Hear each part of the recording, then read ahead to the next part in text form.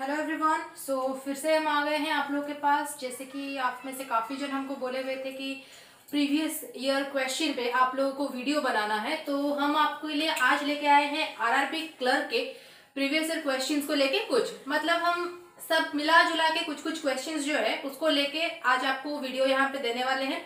तो सबसे पहला चीज़ हम जो आप लोगों का कवर कर चुके हैं टॉपिक उसी पे ही प्रीवियस ईयर क्वेश्चंस आपको करवाने वाले हैं। ठीक है? उसके बाद हम नेक्स्ट आ जाते हैं कि आप लोगों का इसके बाद सिटिंग अरेंजमेंट और पजल जब कवर करवाएँगे तो प्रीवियस के क्वेश्चन उसके बेस पे भी करवाएँगे। ठीक है? ओके तो कोई एक मैम थी, वो हमको अब मतलब हमारे पिछले वीडियो पे ये रिक्वेस्ट की हुई थी कि मैम ब्लड रिलेशन पे और कुछ क्वेश्चंस करवाइए। तो मैम आपके रिक्वेस्ट पे हम डायरेक्टली क्या कर रहे हैं? पजल फॉर्मेट के कुछ ब्लड रिलेशन के क्वेश्चन जो आरआरबी क्लर्क में प्रीवियस ईयर्स में आए हुए थे स्पेशली 2018 एंड 19 प्रीलिम्स एग्ज़ाम में। उसी बेसिस पे हम क्वेश्चन करवा रहे हैं। याद रखिए 2018 और 19 में आप लोगों के टू टू थ्री मार्क्स के क्वेश्चन आए हुए थे ब्लड रिलेशन से लेके। ठीक है? ओके तो सबसे पहले हम आप लोगों को ये बता देना चाहते हैं, अगर आप लोग आरआरबी क्लर्क का फॉर्म भरे हुए हैं और उस चीज़ के लिए प्रिपेयर कर रहे हैं तो सबसे पहली बात हम आप लोग को प्रीलिम्स के बारे में बता देते हैं, ठीक है? हम आप लोग को प्रीलिम्स एग्ज़ाम के बारे में प्री एग्ज़ाम के बारे में बता देते हैं। कि कौन से कौन से टॉपिक पे रीजनिंग में सबसे ज़्यादा आप लोगों को फोकस देना है। ओके सबसे पहला चीज़ याद रखिए कि आप लोगों का जो रूरल बैंक का एग्ज़ाम होता है, उसमें आप लोगों का रह गया 80 क्वेश्चंस ओके जिसमें आप लोगों का क्या रहता है 40 क्वेश्चन रीजनिंग का रहता है और आप लोगों का 40 क्वेश्चन मैथ का रहता है। ठीक है? ओके तो ये रहा आपका पहला चीज़। दूसरा चीज़ क्या होता है? Each carrying plus one mark ठीक है? अगर आप हर क्वेश्चन करेक्ट परफॉर्म करते हैं तो आप लोगों को वन मार्क में वहाँ पे क्रेडिट होता है। अगर आप कोई भी क्वेश्चन वहाँ पे रॉन्ग बनाते हैं तो आप लोगों का उस क्वेश्चन में पॉइंट टू फाइव का पेनल्टी लगता है। ओके यहाँ पे आप सब लोग क्लियर हो गए? तो ये रहा उसके मार्किंग का पैटर्न दूसरा चीज़ रहा, आप लोगों का आरआरबी में जो सबसे बड़ा प्लस पॉइंट होता है, वो ये होता है कि आप लोगों को रीजनिंग और मैथ के लिए सेशनल टाइमिंग नहीं दिया जाता है। मतलब अगर आप पाँच क्वेश्चन मैथ का बनाने के बाद बोर हो गए, या फिर दिमाग आपका चक्कर खा गया तो आप तुरंत वहाँ पे रीजनिंग सेक्शन पे स्विच कर सकते हैं। ओके आराम से कर सकते हैं, कोई दिक्कत नहीं रहेगा। अगर आप रीजनिंग वहाँ पे बनाने के बाद कहीं पे स्टक हो गए, आप फिर से मैथ सेक्शन पे वापस आ सकते हैं। इस चीज़ पे बहुत ज़्यादा ध्यान रखिएगा। ऐसा नहीं कि पूरा हम रीजनिंग में सबसे ज़्यादा स्ट्रांग है मतलब रीजनिंग पूरा करते जाएँगे करते जाएँगे करते जाएँगे। और आप लोगों का जो टोटल टाइम यहाँ पे दिया जाता है, वो होता है फोर्टी फाइव मिनट्स का। ओके मतलब आप लोगों का रहता है फोर्टी फाइव मिनट्स कुल मिला के होता है अस्सी क्वेश्चन अस्सी मार्क्स के।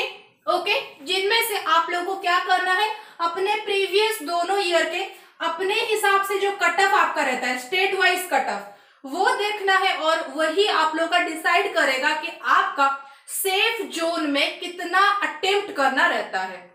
हमेशा याद रखिए प्रीवियस ईयर क्वेश्चंस और उसके कट ऑफ़ हमेशा देख के जाइएगा एग्ज़ाम अपियर करने के लिए। ओके इस चीज़ को दिमाग में अच्छे से रख लेना। तो ये रहा आप लोग का प्री एग्ज़ाम का पैटर्न ओके फिर से बता देते हैं। चालीस क्वेश्चन रीजनिंग चालीस क्वेश्चन मार्क मैथ्स में कुल मिला के एट्टी क्वेश्चन और एट्टी मार्क्स के रह गए आपके। तो अगर आप एक क्वेश्चन करेक्ट बनाते हैं तो उसमें प्लस वन का क्रेडिट होता है। अगर आप क्वेश्चन अटेम्प्ट कर लिए हैं और वहाँ पे आपका रॉन्ग हो गया तो याद रखिए उसमें पॉइंट टू फाइव का पेनल्टी लग जाता है। काफ़ी बच्चों को यहाँ डाउट होता है, एक ऑप्शन आप लोग को मिलता है, mark for review, okay? Mark for review. अब ये ऑप्शन दिया तो जाता है, पर बच्चों का ये कभी काम नहीं आता है, क्योंकि आप लोगों का टोटल क्वेश्चन बनाते बनाते 45 मिनट कब चला जाता है वो पता नहीं चलता है। याद रखिए, अगर आप एक क्वेश्चन सॉल्व कर लेते हैं और उसमें आंसर टिक कर लिए हैं और उसको मार्क फॉर रिव्यू में रखे हैं फिर से बता रहे हैं, आप एक question suppose question number one में ऑप्शन बी आपको सही लगा और उसको टिक कर लिए है। पर थोड़ा सा डाउट में आए और इसको क्या किए हैं मार्क फॉर रिव्यू में डाल दिए हैं। तो एंड में सबमिट होने के बाद, अगर ये करेक्ट होता है तो इसके लिए प्लस वन मिलेगा, अगर ये रॉन्ग होता है तो इसके लिए पेनल्टी मिलेगा। Okay okay? वो आपको इंस्ट्रक्शन में ऑलरेडी मेंशन रहता है कि मार्क फॉर रिव्यू का मतलब होता है कि ऑलरेडी आपका फाइनल सबमिशन के टाइम ये भी आपका आंसर के हिसाब से सबमिट हो जाता है। ओके क्लियर हो गया सब कोई? तो ये आप लोगों का एग्ज़ाम प्री का पूरा पैटर्न हम यहाँ पे आपको बता दें। ओके आई विश किसी को कोई डाउट नहीं रहेगा। टेलीग्राम पे कोई एक सर हमको पूछे हुए थे कि मैम एग्ज़ाम रिलेटेड आपको कोई आइडिया नहीं है। सर आई थिंक ये स्टार्टिंग जो आ, मतलब आपको इंट्रोडक्शन में हम दिए हैं आपको ये पूरी तरह से क्लियर हो जाएगा ओके तो ये रहा आप लोगों का पूरा पैटर्न इसके बाद आ जाते हैं कि प्री एग्ज़ाम के लिए आपको कौन से कौन से टॉपिक पे बहुत ज़्यादा ही फोकस करना है, ठीक है? तो देखते हैं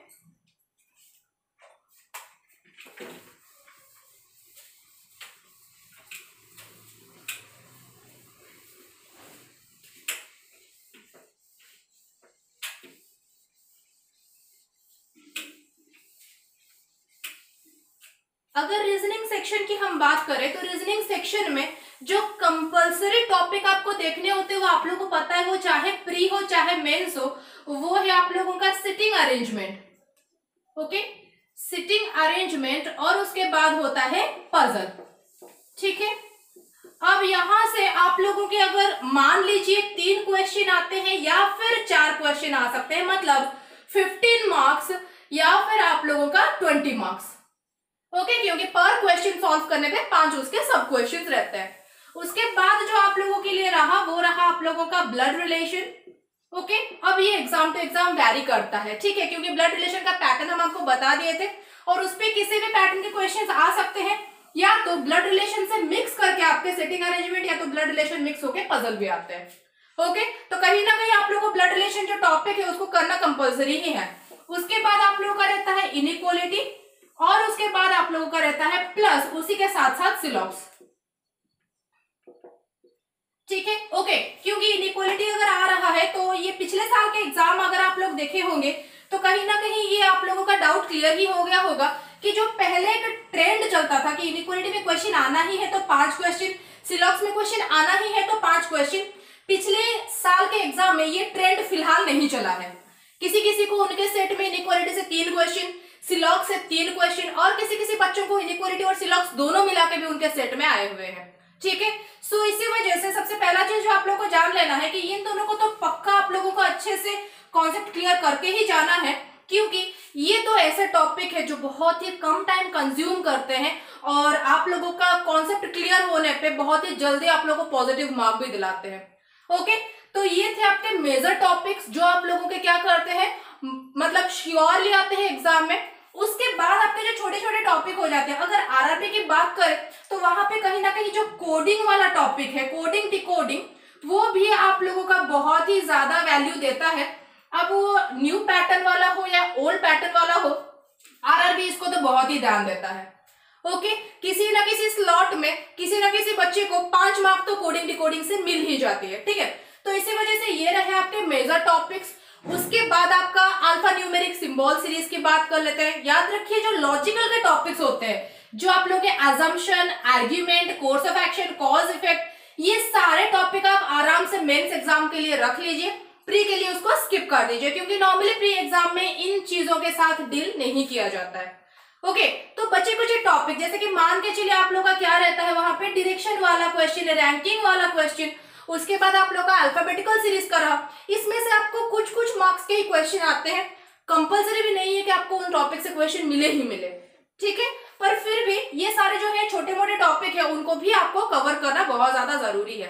ओके इसके नेक्स्ट वीडियो के लिए भी आप लोग प्लीज़ आ, मतलब स्टे ट्यून रहिए क्योंकि इसके बाद हम आप लोगों का कोडिंग डिकोडिंग का टॉपिक स्टार्ट करवाने वाले हैं। उसका आप लोगों को बेसिक्स बताने के बाद हम प्रीवियस ईयर के जैसे जैसे क्वेश्चंस आए हुए हैं सारे पैटर्न कवर कराने वाले हैं ओके सो प्लीज़ सारे के सारे वीडियो में आप लोग को चैनल सब्सक्राइब करना सबसे ज़्यादा ज़रूरी है, क्योंकि हम जो भी वीडियो जब भी अपलोड करें, आपके पास तुरंत ही उसका क्या चला जाए नोटिफिकेशन चला जाएगा ओके नोटिफिकेशन चला जाएगा तो आपका प्रिपेरेशन जो रहेगा वो आराम से चलता रहेगा, कोई दिक्कत नहीं होगा। और अगर आप लोगों को लगता है कि हाँ पढ़ाई आप लोग को समझ आ रही है और ये हम जो वीडियो यहाँ पे आपको दे रहे हैं, वो सारे आपके बहुत काम के हैं प्लीज़ प्लीज़ प्लीज़ अपने जितने जितने जितने फ्रेंड्स है, सबके साथ आराम से शेयर करिए। शेयर करने में तो कोई दिक्कत ही है नहीं। और उसके बाद अगर आप शेयर कर लेते हैं तो हमारे सब्सक्राइबर बहुत ज़्यादा बढ़ जाएँगे। उससे हमको भी लगता है, जब बच्चे आप लोग हमको बोलते हैं, मैम, ये करवाइए, वो करवाइए, उससे हमको ज़्यादा एनर्जी मिलता है कि हम और थोड़ा बेहतर तरीके से क्वेश्चन आप लोगों के सामने लाए। ठीक है ओके तो बहुत ज़्यादा ज़्यादा ज़्यादा आप लोगों के सपोर्ट की ज़रूरत है तो प्लीज़ इस चैनल को जितना जितना हो सके शेयर ज़रूर करिएगा ओके और बेल आइकन तो है ही, ठीक है? ठीक है? सो अब आ जाते हैं आपके क्वेश्चन के पास, ठीक है? सो ओके सो आप लोग को सबसे पहला चीज़ क्या करना है? देखिए, ये जो क्वेश्चन था, ये आप लोगों का आरआरबी क्लर्क में आया हुआ था और तीन मार्क का क्वेश्चन इसमें से तीन क्वेश्चन आपको आए हुए थे और ये 2018 में इस पैटर्न के क्वेश्चन आए हुए थे, ठीक है? पर्टिकुलर ये क्वेश्चन नहीं है ओके यहाँ पे नाम आप लोगों को पता है, बहुत बड़ा बड़ा राकेश, राजेश, रमेश, सूर्या, ये सब नाम रहते हैं। हम उसको क्या कहें एबीसीडी के हिसाब से बना दिए हैं ओके सबसे पहला काम आप लोग क्या करिएगा? यहाँ पे पॉज कर लीजिएगा पॉज करके खुद सॉल्व करने की कोशिश करिएगा, जो हम आपको हर वीडियो में बताते हैं। क्योंकि आप एक बार खुद अटेम्प्ट ज़रूर लीजिए क्योंकि पजल फॉर्मेट के बेसिक्स हम ऑलरेडी वीडियो अपलोड कर चुके हैं। तो कुछ ना कुछ तो आप सीख ही गए होंगे कि खुद बना सकते हैं। ओके क्वेश्चन इसमें से तीन ही मार्क के आ रहे हैं तो मैक्सिमम से मैक्सिमम आपसे टू से थ्री मिनट ही इसको देना है। मैक्सिमम क्योंकि एक मार्क का क्वेश्चन मतलब एक मिनट अगर आप दे भी रहे हैं तो भी आप सारे क्वेश्चन अटेंड नहीं कर सकते। तीन मार्क के क्वेश्चन को अगर तीन ही मिनट पूरा लगा दिए, तब तो हो ही गई बात। ओके और आपको पता है कि अगर क्लर्क एग्ज़ाम है तो यहाँ के कट ऑफ़ बहुत हाई रहते हैं तो आपको बहुत ज़्यादा से ज़्यादा क्वेश्चन सॉल्व करने हैं, ठीक है? तो इसको सॉल्व करने से पहले हम क्वेश्चन आप लोगों के लिए रीड कर लेते हैं ओके ताकि आप लोग को उसको समझने में या पढ़ने में दिक्कत ना हो okay in a family of eight people दिमाग में रखिए, जो हम पिछले वीडियो में आपको बताए हुए थे, आपको जो फैमिली ट्री बनाना है, वो आठ ही लोगों को लेके बनाना है, कोई अननोन पर्सन उस ट्री में नहीं रहने चाहिए। सब, सबको समझ आया? Next there are three generation okay तीन जनरेशन के ही बनने चाहिए वो। And two married couple okay ये डेटा जो है, ये दिमाग में फिक्स कर लीजिए। तीन जनरेशन का है वो फैमिली और उसमें दो मैरिड कपल रह रहे हैं ओके क्वेश्चन सॉल्व कैसे करें? याद रखिए, अगर लाइन से लाइन जुड़ते जा रहे हैं तो आप आपके लिए क्वेश्चन पूरा इजी है और डायरेक्ट है। अगर लाइन से लाइन नहीं जुड़ रहे हैं तो हर इंडिविजुअल डेटा का ट्री बना लीजिए। ओके? हर इंडिविजुअल डेटा का ट्री बना लीजिए और उसको बाद में मर्ज करिए। ऐसे मर्ज करिए कि वो आठ लोगों में ही सिमट जाए। समझ आया सबको? ठीक है, हम बता दिए। अगर लाइन से लाइन जुड़ रहे हैं मतलब ए बी और सी फिर नेक्स्ट लाइन सी को लेके शुरू हो रहा है, फिर नेक्स्ट लाइन में बी भी आ जा रहा है, ठीक है? तो लाइन से लाइन अगर जुड़ रहे हैं तो सही है। पर अगर कोई एक लाइन बीच में ऐसा आ गया जो प्रीवियस डेटा से जुड़ नहीं रहा है, उसका ट्री अलग से ड्रॉ करिए और एंड में देखिए कि वो ट्री जो है वो कहा आप लोगों का जुड़ने के लिए काम आ रहा है। समझ आया सबको? ठीक है?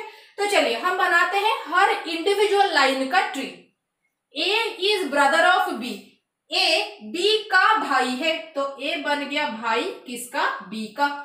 क्लियर है सब कोई? हु हम आपको बोले हुए थे। हु जो है, वो किसको डिनोट करता है? जस्ट उसके प्रीवियस पर्सन के लिए। बी जो है, वो ग्रैंड चाइल्ड ऑफ़ सी याद रखिए चाइल्ड का मतलब उसका जेंडर यहाँ पे क्लियर नहीं हो रहा है। चाइल्ड का मतलब सन भी हो सकता है डॉटर भी हो सकती है। बी जो है, वो ग्रैंड चाइल्ड है किसका? सी का। तो इसको ड्रॉ कर लेती है। ड्रॉ कर लेते हैं। तो सी जो है, वो ग्रैंड पेरेंट के जनरेशन में चला गया। तो सी आ गया ग्रैंड पेरेंट और ग्रैंड चाइल्ड के जनरेशन में कौन बैठे? ए और बी बैठे। जहाँ पे बोला है ए जो है वो भाई है। सबको समझ आया बीच में हम एक गैप यहाँ पे दिए हुए हैं। वो गैप आप लोग का किस चीज़ में है? ग्रैंड पेरेंट ग्रैंड चिल्ड्रन का बीच वाला जनरेशन जो आप लोग का पेरेंट का जनरेशन रहता है। क्लियर है सब कोई? उसके बाद C is married to D C जो है वो डी से शादी किया हुआ है। आप लोगों के लिए जानकारी के लिए बता देते हैं। अभी तक जितना बनाए हैं वहाँ पे सी का जेंडर कहीं पे क्लियर नहीं हो रहा है। अगर सी का जेंडर क्लियर नहीं हो रहा है तो डी का जेंडर भी अभी तक क्लियर नहीं है। ओके नेक्स्ट ई जो है वो फादर ऑफ़ बी है। अब यहाँ पे ई जो फादर है, वो ई सी और डी का ही बेटा होगा, ये गारंटी नहीं है। कहने का मतलब है ई इस घर का दामाद भी हो सकता है। समझ आया? इन लोगों के बेटी को ई शादी कर सकता है, या तो ई इन्हीं लोगों का बेटा डायरेक्ट हो सकता है। दो पॉसिबिलिटी आ रहे तो इस लाइन को हम यहाँ पे दो पॉसिबिलिटी ना बना के अलग से ड्रॉ कर लेते हैं। ई जो है, वो पिता है किसका? बी का। क्लियर है सब कोई? जबकि आपको यहाँ पे बोला हुआ था ए बी का ब्रदर है, ये दोनों शिवलिंग है तो यहाँ पे ये ज़रूर है कि ई जो है, वो ए बी दोनों का पिता है। ओके वो अगर बी का पिता बन जा रहा है मतलब ए बी दोनों का वहाँ पे वो फादर है। यहाँ तक सबको clear D is a father in law of F D जो है वो ससुर है। अब ससुर के नाते यहाँ पे हुआ डी जो है वो प्लस हो गया। इसके बदौलत सी जो है वो माइनस हो गई। तो डी जो है वो ससुर है किसका? एफ़ का। इसका मतलब ऐसे बना डी के बेटे या बेटी से एफ़ शादी किया हुआ है या की हुई है। ये एक डेटा, ये एक डेटा। समझ आया? डी जो है वो ससुर है। एफ़ दामाद है या बहू है, ये डेटा नहीं है ओके पर एफ़ डी के बेटे या बेटी किसी से शादी किया हुआ है या की हुई है? यहाँ तक क्लियर नेक्स्ट ई जो है वो ब्रदर है किसका?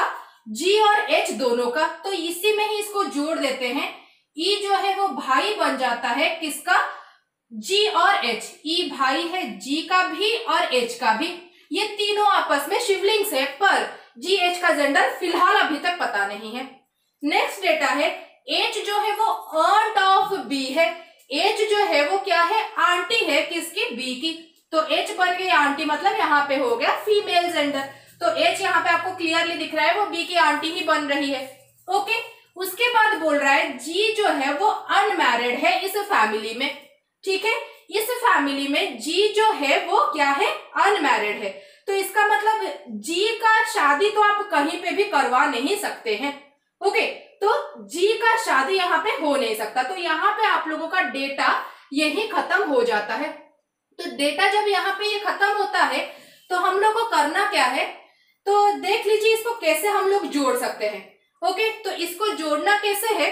इसको जोड़ने के लिए हम लोग क्या करेंगे? यहाँ पे आप लोग को डी इधर दिख रहा है। ओके डी के नीचे जेनरेशन में कोई एक इंसान से किसको शादी करना है? एफ़ को शादी करना है। एच जी ई ये तीनों आपस में शिवलिंग दिख रहे हैं। ओके अब यहाँ पे एक ही चीज़ हमको ये लग रहा है कि एफ़ जिस इंसान से शादी करेगी या करेगा, वो एच से हो, वो ई से हो, जिससे भी हो, ठीक है?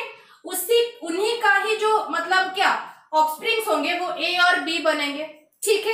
क्योंकि अगर आप प्रायोरिटी में देखने जाए कोई अनमैरिड है, उसके ऑफस्प्रिंग्स आप प्रायोरिटी में नॉर्मली नहीं बनाते।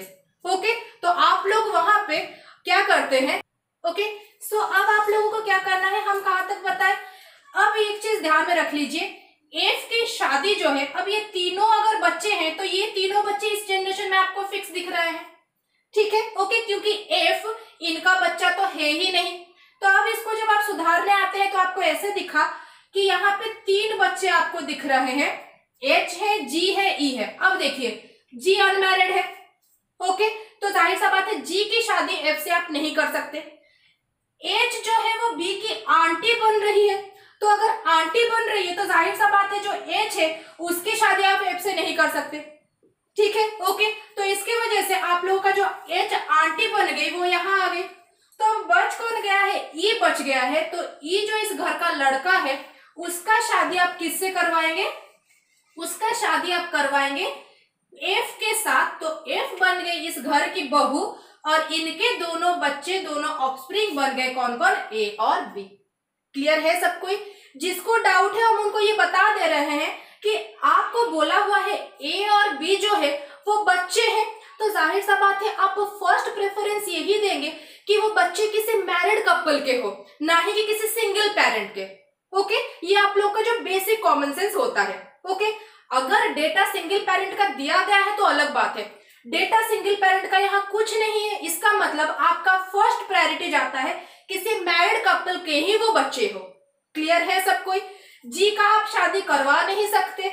एच बकायदा आंटी बन रही है तो एच शादी कर नहीं सकती। तो बच्चे गया उस फैमिली में कौन? ई, जो शादी कर रहा है, एफ़ से।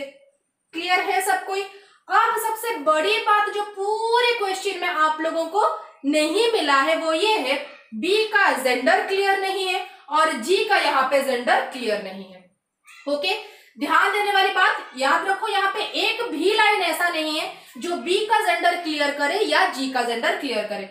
तो जी का जेंडर यहाँ पे आइदर प्लस और माइनस होगा बी का भी जेंडर यहाँ पे आइदर प्लस और माइनस जाएगा। क्लियर है सब कोई? ओके अच्छे से समझ आया? सी जो है वहाँ पे फीमेल डी मेल है। ओके क्वेश्चन में क्या था आपका क्राइटेरिया तीन जनरेशन है, दो मैरिड कपल है ओके तीन जनरेशन का फैमिली है सी डी एक मैरिड कपल ई एफ़ एक मैरिड कपल और कोई क्राइटेरिया बाउंड नहीं था फुलफिल होने के लिए तो ये हो गया आपका इस क्वेश्चन का पूरा फैमिली ट्री ओके क्लियर हो गए? यहाँ पे जो बताने वाली चीज़ आप लोगों को है, वो क्या है याद रखिए? क्वेश्चन अगर पूछेगा how G is related to F okay how G is related to F तो हम आपको बताए थे हाउ वाले क्वेश्चन को आपको कैसे समझना है? जी एफ़ की क्या है? ओके तो जबकि आपको पता है जी मेल है या फीमेल है, नहीं पता ऑप्शन कभी भी नहीं देगा कि आइदर ब्रदर इन लॉ और सिस्टर इन लॉ इतना बड़ा कभी नहीं दिया जाता है। सीधा ऑप्शन में आपको क्या दिया गया होगा? सी एन डी या फिर can not be determine clear है सब कोई? सबको समझ आया? वैसे ही बी का जेंडर क्लियर नहीं है। अगर बोलता है how B is related to D okay ऐसा एक क्वेश्चन हम ऑलरेडी करवा चुके हैं how B is related to D तो आप वहाँ पे इसका जेंडर क्लियर नहीं है तो आइदर ग्रैंडसन और ग्रैंड डॉटर बोल सकते हैं, या तो ऑप्शन में आपका कौन सा वर्ड रहेगा? ग्रैंड चाइल्ड अगर इनमें से कोई भी वर्ड नहीं रहता है तो सीधा ऑप्शन में आ जाओ can not be determined clear है सब कोई? Okay okay? तो ये क्वेश्चन सब लोगों का क्लियर हो गया। अब मूव करते हैं नेक्स्ट क्वेश्चन पे ओके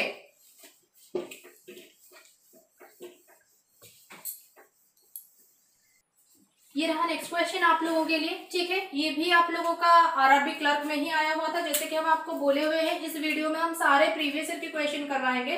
तो ये आप लोगों का आरआरबी क्लर्क का था पर दुख की बात यह है कि इसमें से आपको टू क्वेश्चन ही आए हुए थे ठीक है? ओके दो ही क्वेश्चन आप लोग को सॉल्व करने थे दो मार्क के क्वेश्चन आए थे ये भी आप लोग का पजल फॉर्मेट का ही क्वेश्चन है।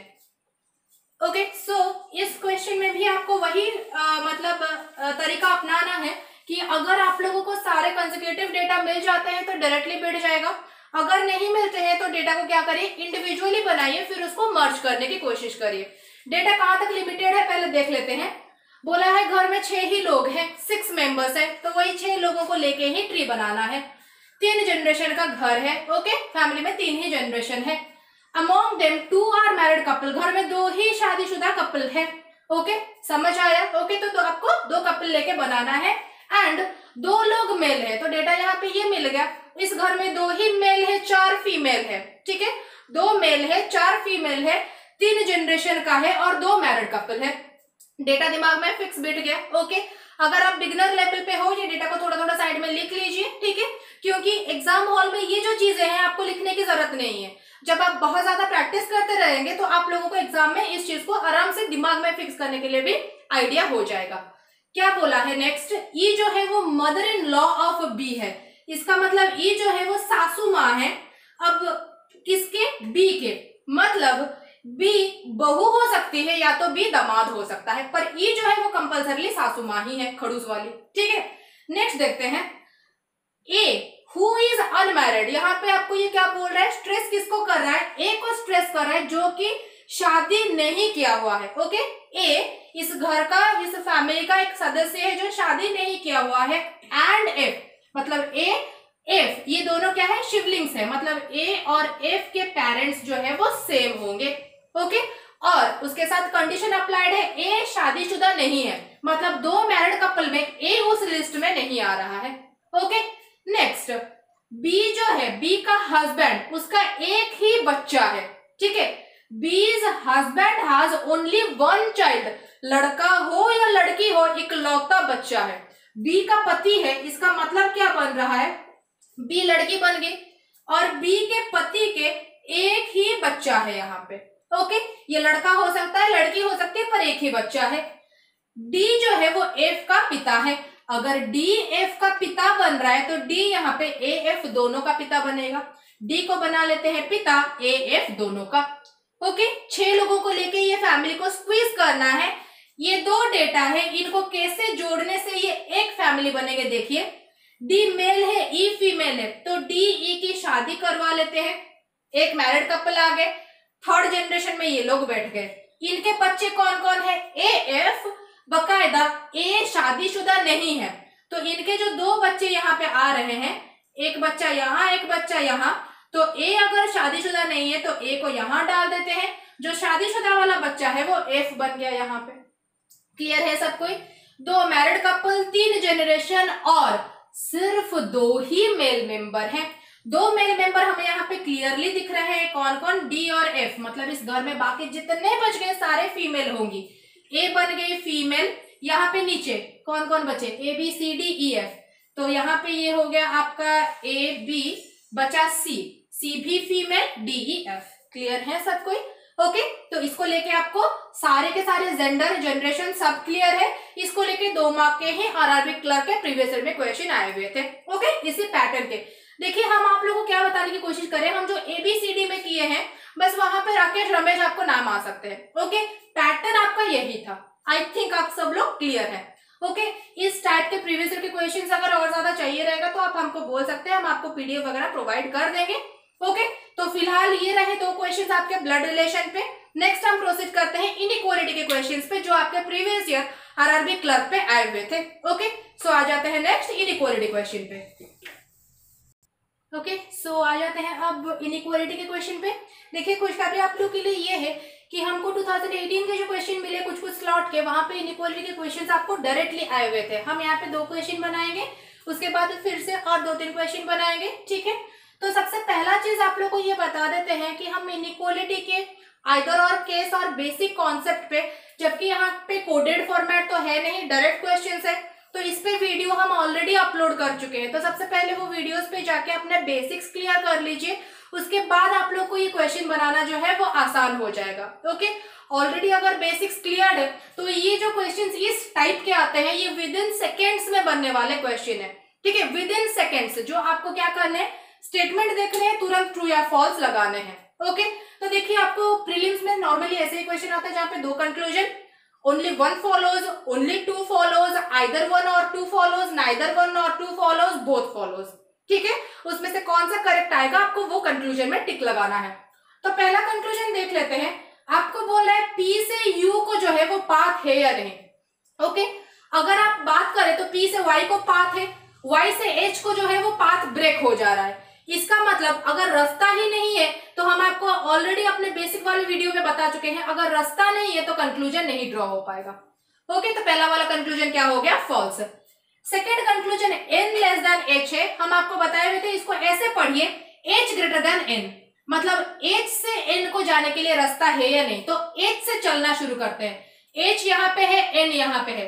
एच से यू जा सकते हैं यू से टी जा सकते हैं टी से एन जा सकते हैं। इसका मतलब एच से एन भी आप जा सकते हैं।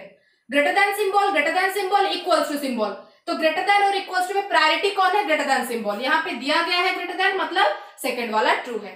मतलब इस क्वेश्चन पे आप क्या टिक लगाएँगे? ओनली टू फॉलोज क्लियर हो गए सब कोई? ओके नेक्स्ट क्वेश्चन पे आ जाते हैं। नेक्स्ट क्वेश्चन में कंक्लूजन बोला है। एक्सक्यूज में डी ग्रेटर देन वी तो आपको क्या करना है? डी से वी को पाथ है या नहीं देखो। डी से सी को पाथ है, डी से सी को पाथ है, सी से भी को पाथ है। इसका मतलब डी से वी को पाथ है। अब अगर यहाँ पे देखें तो यहाँ पे इक्वल्स टू है, यहाँ पे ग्रेटर देन इक्वल्स टू है। तो अब अगर आप देखें प्रायोरिटी के हिसाब से इक्वल्स टू और ग्रेटर देन इक्वल्स टू में प्रायोरिटी कौन लेता है? ग्रेटर देन इक्वल्स टू आपका प्रायोरिटी लेता है। पर कंक्लूजन में क्या बोला हुआ है? कंक्लूजन में आपको ग्रेटर देन दे दिया गया है। तो ये वाला क्या हो जाएगा? फॉल्स क्लियर है सब कोई? डी से वी को जाने के लिए पाथ में ही जब ग्रेटर देन सिंबल है नहीं तो वो कंक्लूजन में आएगा कैसे? आप क्लास में हो ही नहीं तो अटेंडेंस आपका आएगा कैसे? अब कुछ बच्चे सोचेंगे, मैम प्रॉक्सी इलीगल काम नहीं होता है, सिर्फ़ लीगल में चलो, ठीक है? तो नेक्स्ट आ जाते हैं। V greater than equals to H तो कहाँ पे कहा जाना है? V से h को जाना है। अब दोबारा यहाँ पे देख लेते हैं, v से h तो v से f f से g जी से एच हाँ भाई पाथ तो यहाँ पे एग्जिस्ट कर रहा है। Greater than greater than greater than equals to greater than है ग्रेटर देन है ग्रेटर देन इक्वल्स टू है। अब यहाँ पे प्रायोरिटी कौन है? ग्रेटर देन सिंबल यहाँ पे आ जाता है प्रायोरिटी में। दिया क्या गया है? ग्रेटर देन इक्वल्स टू अब प्रायोरिटी को तो आप इग्नोर नहीं कर सकते हो। दोनों फॉल्स है। आइदर और होने के कोई भी रूल यहाँ पे लागू नहीं हो रहे हैं तो ये क्या हो जाएगा answer neither one nor two follows I think आप लोग सब कोई क्लियर हो गए। ठीक है? अब आ जाते हैं नेक्स्ट क्वेश्चन पे. ओके ओके सो ये रहे आपके नेक्स्ट दो क्वेश्चंस पहले बता देते हैं ये दो क्वेश्चंस हमको फ़िलहाल आरआरबी पीओ के प्रीवियस ईयर क्वेश्चन में मिले थे. ओके okay, क्योंकि क्लरिकल के हम जो भी प्रीवियस ईयर के क्वेश्चंस में आपको सेट्स में मिला हमको सारे डायरेक्ट क्वेश्चंस मिले. तो पीओ के लेवल पे ये क्वेश्चन आए यहाँ पे डायरेक्ट क्वेश्चन नहीं है स्टेटमेंट डायरेक्ट नहीं है. यहाँ पे पहले क्वेश्चन में आप लोग देखिए ये एक स्टेटमेंट है. सेमी कॉलन से डिवाइड किया गया ये दूसरा स्टेटमेंट है. ठीक है? पहला स्टेटमेंट दूसरा स्टेटमेंट दूसरे क्वेश्चन में ये पहला स्टेटमेंट सेमी कॉलन के बाद दूसरा स्टेटमेंट सेमी कॉलन के बाद तीसरा स्टेटमेंट ठीक है? ओके तो ये हमको आपको आ, ये हमको मिला आपके आरआरबी पीओ प्री के क्वेश्चन में. ओके तो अब इसको सॉल्व कैसे करना है? याद रखिए इसके लिए भी पेन पेपर की ज़रूरत नहीं है. कैसे सॉल्व करिए? जब आपको मल्टीपल पाथ दिए जाते हैं. हमेशा याद रखिएगा स्टार्टिंग पॉइंट से लेके कॉमन एलिमेंट के पास जाइएगा. स्टार्टिंग एलिमेंट उसके बाद कॉमन एलिमेंट उसके बाद एंड एलिमेंट ओके जैसे कि एक आपको कंक्लूजन बता देते हैं। यहाँ पे बोला है जे ग्रेटर देन एच मतलब जे से एच को पाथ देखना है। ओके स्टार्टिंग एलिमेंट जे है एंडिंग एलिमेंट एच है। अगर पहला वाला आप पाथ देखें, पहला वाला स्टेटमेंट वहाँ पे एच है, पर जे नहीं है। दूसरा वाला पाथ देखिए, वहाँ पे जे है, पर एच नहीं है। मतलब आपको दोनों स्टेटमेंट को जोड़ने हैं। जोड़ने के लिए क्या चाहिए? कॉमन एलिमेंट एक ऐसा एलिमेंट जो इस स्टेटमेंट में भी हो और इस स्टेटमेंट में भी हो। तो वैसा एलिमेंट हमको यहाँ पे क्लियरली दिख रहा है वो कौन है? टी टी एक ऐसा एलिमेंट है जो पहला स्टेटमेंट में भी है और दूसरा स्टेटमेंट में भी है। ओके तो आपको जे से निकल के जाना है टी के पास टी से निकल के जाना है एच के पास। बाकी सब एलिमेंट को इग्नोर मार दो। ओके तो जे से टी के पास जाएँगे। बोला है J equals to L L के बाद आपको दिया गया है L greater than equals to T J से टी बन गया। टी से H T greater than equals to H अब अगर इन दोनों को आप जोड़ेंगे तो ये बन गया आपका क्वेश्चन आंसर देने के लिए स्टेटमेंट ओके okay, आंसर देने के लिए बस इन्हीं चीज़ों की रिक्वायरमेंट है बाकी सबको इग्नोर मार दीजिए। Okay okay? हम आपको वही समझा रहे थे। Starting element common element end element बाकी जो मिलते हैं रास्ते में सबको इग्नोर मारिए और भागते चलिए। ठीक है? अगर यहाँ पे ध्यान से देखें तो जे से एच के बीच में जे से एल एल से टी टी से एच पाथ एग्जिस्ट कर रहा है। अब वहाँ पे पाथ में equals to greater than equals to greater than equals to priority कौन बन रहा है? प्रायोरिटी आपका बन रहा है J greater than equals to H अगर ये आंसर हो रहा है J greater than H false हो जाएगा। जे इक्वल्स टू एच भी फॉल्स हो जाएगा। ओके बट इन दोनों को अगर कंबाइन करेंगे तो आपको क्या मिलेगा? J greater than equals to H either और के वीडियो में आपको बताए हुए थे इंडिविजुअल स्टेटमेंट फॉल्स है एलिमेंट सेम है, इनको कंबाइन करोगे, अगर ये स्टेटमेंट में वैलिड होगा तो ये दोनों आपका क्या है? आइदर और में जाएँगे। क्लियर है सब कोई? Individual statement false element same दोनों कंक्लूजन को मर्ज करोगे तो वो स्टेटमेंट में वैलिडेट होते हैं तो वो दोनों कंक्लूजन क्या होंगे? आइदर और फॉलो करेंगे। क्लियर है सब कोई? ओके नेक्स्ट वाले में आ जाते हैं। बोला है W greater than M W से एम को पाथ देखना है। डब्ल्यू कहाँ है? डब्ल्यू आपका यहाँ भी है और यहाँ भी है। एम यहाँ पे है। अब डब्ल्यू से एम अगर आप देखेंगे, ये पहला वाला पाथ और सेकंड वाले पाथ में बी मिल रहा है मुझको। ठीक है? डब्ल्यू से एम अगर आप पहले और तीसरे में देखेंगे तो मुझे कोई कॉमन एलिमेंट मिल नहीं रहा है जुड़ने के लिए। मतलब पहले क्वेश्चन को आंसर देने के लिए तीसरा वाला स्टेटमेंट यूजलेस है। ओके, आपको कहा जोड़ना है? पहले और सेकंड को जोड़ना है। डब्ल्यू से एम तो डब्ल्यू से जाएँगे बी बी से जाएँगे एम आप लोगों को जानकारी के लिए बता देते हैं, बुद्धि लगाने की ज़रूरत ही नहीं है। ध्यान से देखिए डब्ल्यू से निकलने के लिए ही सिंबल नहीं है यहाँ। ओके सिंबल का चेहरा डब्ल्यू से उल्टा डायरेक्शन में है तो डब्ल्यू से ये बंदा निकल ही नहीं सकता है। जब निकल ही नहीं सकता है तो एम तक कहाँ पहुंचेगा? अगर दूसरे को देखें तो दूसरे में ऐसा कोई एलिमेंट ही नहीं है जो डब्ल्यू को लेके एम से जोड़ पाए आपको। डब्ल्यू के बाद क्यू है और ए है। ना यहाँ पे क्यू है, ना यहाँ पे ए है। समझ आया? तो यहाँ पे डब्ल्यू से निकलने का रास्ता नहीं है। यहाँ से डब्ल्यू जोड़ ही नहीं पा रहा है। तो कोई ऑप्शन आपके पास बचा नहीं है तो पहला कंक्लूजन क्या हो जाएगा? फॉल्स क्लियर है सब कोई? दूसरे वाले में के से क्यू जाना है। तो के कहाँ है? क्यू कहाँ है? देख लेते हैं। के जो है वो पहले वाले में है, क्यू जो है वो तीसरे वाले में है। और बीच में कहीं नहीं है, ओके? तो पहले से तीसरे को जोड़ने के लिए कॉमन एलिमेंट जो है, वो है क्यू डब्ल्यू ए तो क्यू डब्ल्यू ए कुछ नहीं है, ओके? पहले से तीसरे में कोई कॉमन ही एलिमेंट नहीं बच रहा है, जो आपको क्या करे, इनको जोड़े। अगर पहले से दूसरा, दूसरे से तीसरा आप देखें तो के से निकल के आप बी तक जाइए। ठीक है? के से निकल के आप बी तक जाइए। इसको आप क्या कर सकते हैं? के से निकल के बी तक जाइए। बी से निकल के आप डब्ल्यू तक जाइए और डब्ल्यू से निकल के आप क्यू तक जाइए। ये दूसरा रास्ता बन रहा है। ओके हमेशा याद रखिए कंक्लूजन को ट्रू करने का मोस्ट पॉसिबल वे आपको ढूंढना है। ठीक है? बच्चे क्या करेंगे? जल्दी जल्दी में देखेंगे। अरे, कोई कॉमन ही नहीं है। चलो तोड़ देते हैं। अब अगर आप पिकनिक का प्लानिंग बनाए हो और सुबह सुबह गाड़ी खराब हो गई पूरा प्लान बन गया है मतलब आप उसको कैसे भी करके एग्जीक्यूट करवाते हो। तो इसी वजह से देखना के से निकल के क्यू तक पहुँचने के लिए कितने पॉसिबल वे आउट होते हैं। अगर सारे पॉसिबल वे आउट फॉल्स हो गए तो अल्टीमेटली वो फॉल्स हो जाएगा। क्लियर हुए सब कोई? ओके अगर सारे वे आउट फॉल्स होते हैं तो वो अल्टीमेटली क्या हो जाएगा? फॉल्स हो जाएगा। तो इस रास्ते में भी देखो के से बी के से बी को रास्ता यहाँ पे नहीं बन रहा है, ठीक है? के से एम एम से एन नहीं है। तो जब पहला रास्ता ही नहीं खुल रहा है तो कहाँ से जाओगे? ओके, पहला तीसरा डायरेक्ट भी काम नहीं कर रहा था। इनडायरेक्ट में हम रास्ता बनाने की कोशिश की, वो भी काम नहीं कर रहा है। तो अल्टीमेटली इसको क्या करना है? फॉल्स करना है। दोनों में कोई भी क्वालिटी ऐसा नहीं है जिसको लेके आप इनको आइदर और में डाल सको।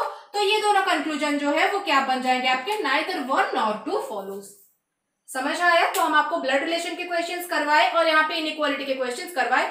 और ये सारे प्रीवियस ईयर पेपर्स पे ही बेस्ड थे। ओके? हम जल्द से जल्द कोशिश करते हैं कि सिलॉक्स सॉरी आपका सिटिंग अरेंजमेंट और पजल शुरू करवाए, ताकि प्रीवियस ईयर उसको लेके हम बनाएँगे। फिर से बता देते हैं, अगर आपको हमारा पढ़ाना सही लग रहा हो अच्छा लग रहा हो तो प्लीज़ अपने दोस्तों से शेयर ज़रूर करिएगा। आप जितना मोटिवेट हमको कराएँगे, हम उतना नए तरीके के और ज़्यादा से ज़्यादा क्वेश्चन लेके आएँगे। ओके? फ़िलहाल के लिए हम अगला क्लास आप लोगों का कोडिंग डिकोडिंग करवाएँगे, क्योंकि आरआरबी एग्ज़ाम के लिए ये भी आप लोगों का पाँच मार्क का वैल्यू रखता है। ओके? तो बच्चे काफ़ी हमको बोले भी हैं तो हम इसके ऊपर वीडियो जल्दी से जल्दी बनाने की कोशिश करेंगे। ओके सो so, आज के लिए इतना क्वेश्चन हो गया। थैंक यू सो मच अगर आपको अच्छा लगे तो प्लीज़ प्लीज़ प्लीज़ कमेंट हमको करना बिल्कुल ना भूलिएगा। ओके एंड इसको लाइक भी ज़रूर कर दीजिएगा और शेयर तो बिल्कुल करिएगा। Thank you